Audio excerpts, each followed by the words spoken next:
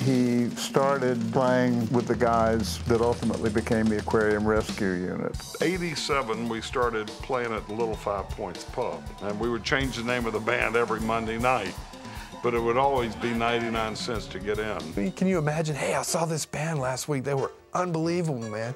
Hey, what were they called? Oh, I think they were called the Arkansas Travelers.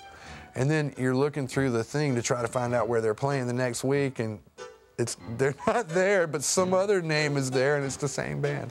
He did that like you know for a while. It usually had Arkansas in front of it, but not always. But you know, we were the Arkansas tourists, the Arkansas travelers, the Arkansas florists, the Arkansas state birds, the Arkansas this and the Arkansas that. A friend of mine and I were walking around Little Five Points. It said Arkansas tourist.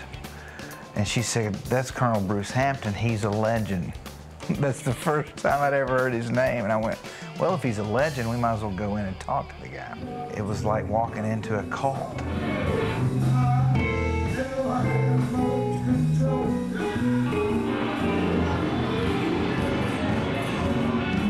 It was magical every night. I mean, we were balls to the wall every Monday night.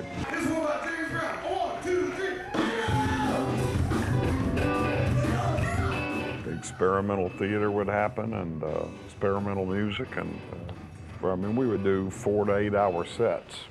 There were so many musicians coming through and playing at the Little Five Points Pub. Every week there'd be another collection with me on drums and like somebody else and another percussionist. That's how we met the Count. He was invited, he came down. September 28, 1988, I think was his first gig.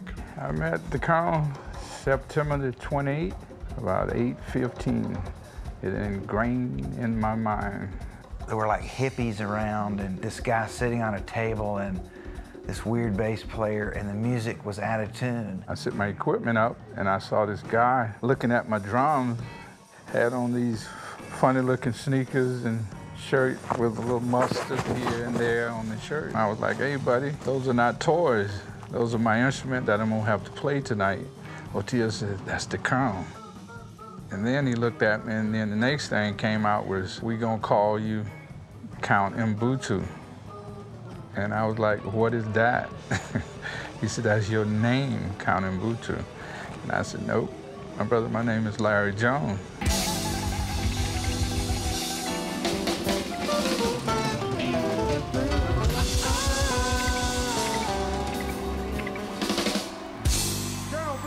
Hampton.